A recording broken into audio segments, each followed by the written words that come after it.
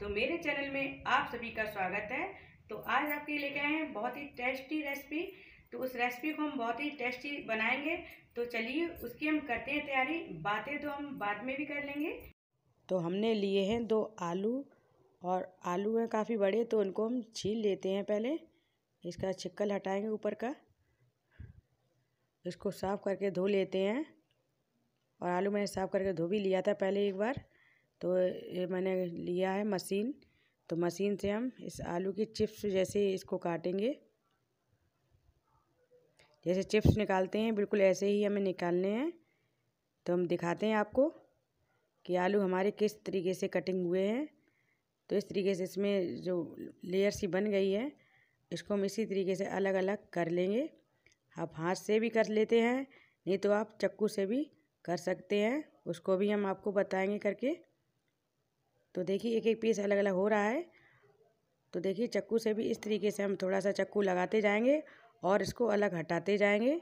तो सारी ही ना, नमकीन अलग से हट जाएगी, बिल्कुल अलग अलग हो गए ना आलू के, जो चिप्स पतले पतले हमने बनाए हैं।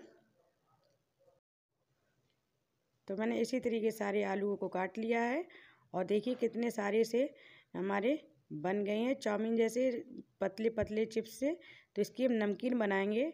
तो उससे पहले इसको हम नमक के पानी में डालेंगे, जिससे इसका मॉइस्चर सारा ही निकल जाए और नमकीन बनेगी टेस्टी सी। तो इसको नमक के पानी में डालकर लगभग दस मिनट के लिए इसको रेस्ट करने के लिए हम रखेंगे। तो इसे ढककर रख लेते हैं। तो जब तक हम पानी को गर्म करते हैं, पानी में जब तक उबाल आता है तो दस मिनट भी हो गए हैं तो इसको निकाल कर और हम डाल देते हैं। इससे सिर्फ़ एक उबाल आने तक ही इसको पकाएँगे, सिर्फ़ भाप में ही हमें पकाना है। नहीं तो ये ज़्यादा उबल जाएँगे तो बेकार हो जाएँगे तो हमारे अच्छे नहीं बनेंगे, जो हम बना रहे हैं नमकीन। तो पानी बिल्कुल ही शांत हो गया, एक उबाल लगभग इसे आने में दो से चार मिनट लगेंगे। तो बस एक उबाल आ गया है और उसको हम गैस को बंद कर देते हैं और उसको फटाफट हम इसको बाहर निकालेंगे। उससे पहले हम इसको चेक कर लेते हैं कि हमारे जो बना रहे हैं नमकीन, वो बढ़िया से भाप में बनी कि नहीं बनी है। तो बिल्कुल ठीक बनकर तैयार हो गई तो इसको निकाल लेते हैं। निकाल कर इसका सारा ही पानी हमें निकाल देना है अच्छे से।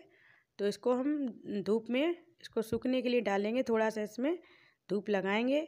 आप चाहें तो इसे पंखे के नीचे भी सुखा सकते हैं। तो लगभग आठ घंटे इसे लगेंगे और आप धूप में इसे डालेंगे तो तीन से चार घंटे में सूख जाते हैं। तो हम इसे धूप में डालते हैं सूखने के लिए और तीन चार घंटे बाद इसको देखते हैं। तो देखिए कितने अच्छे लग रहे हैं। तो तीन से चार घंटे बाद हमने इसको देखा है तो सारा ये नमकीन हमारा सूख के तैयार हो गया है। जो नमकीन सेब हम बना रहे हैं आज तो बस इसको हम कढ़ाई में डालकर देखेंगे कि हमारे नमकीन सेब कितने अच्छे बने कि नहीं। तो कढ़ाई में हम डाल के देखते हैं तो कितने अच्छे तरीके से सेब हमारे बढ़िया से भुन रही है। तो इसको इस तरीके से हम थोड़ा सा चलाते रहेंगे बराबर और इसको बाद में निकालेंगे। तो फटाफट हम इसको निकाल भी लेते हैं। तो मैंने दो आलू के ना जो नमकीन बनाया था, दो आलूओं का तो मैंने कहा चलो आपके साथ इस वीडियो को शेयर करते हैं। तो हम इसी तरीके से और भी रखे हैं जो मैंने आलू वाले सेब सारे ही मैंने इसको निकाल लिया है। और कितने अच्छे लग रहे हैं देखने में। तो बस इसे थोड़ा सा चटपटा और स्पाइसी बनाना है हमें। तो हम डालेंगे चाट मसाला और नमक मैंने डाल दिया है और इसके ऊपर डालेंगे हम थोड़ी सी लाल मिर्च, जिससे और भी ज़्यादा थोड़ा सा तीखा स्पाइसी बन जाए। क्रंची तो है ही साथ में स्पाइसी भी होना चाहिए नमकीन को। तो बहुत ही ज़्यादा टेस्टी लगने वाली है नमकीन। आप अपने घर पर इस तरीके से नमकीन ज़रूर बनाइए। बहुत ही ज़्यादा अच्छी लगने वाली है टेस्टी भी है। अगर आप कहें तो इसे क्रंच करके भी हम दिखाते हैं। तो देखिए, हमारी नमकीन बहुत ही टेस्टी, अच्छी लग रही हमें। हमें तो बहुत ही ज़्यादा अच्छी लगी। अगर आप इस तरीके से बनाएँगे तो आपको भी पसंद ज़रूर आएगी नमकीन।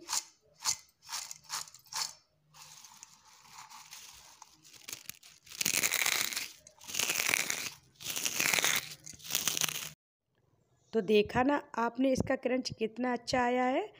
तो आपको अगर ये रेसिपी अच्छी लगी हो, नमकीन हमारी पसंद आई हो तो आप भी अपने बच्चों के लिए ज़रूर बनाइए। हाँ अगर आपको रेसिपी पसंद आई हो तो उसको लाइक, शेयर और कमेंट करना ना भूलिए। और चैनल पे आप नए हो तो चैनल को सब्सक्राइब कर लीजिए और बेल आइकन को साथ में दबा दीजिए। तभी तो न्यू रेसिपी आप तक सबसे पहले आएँगी। तो फिर मिलेंगे न्यू रेसिपी के साथ। तब तक के लिए बाय बाय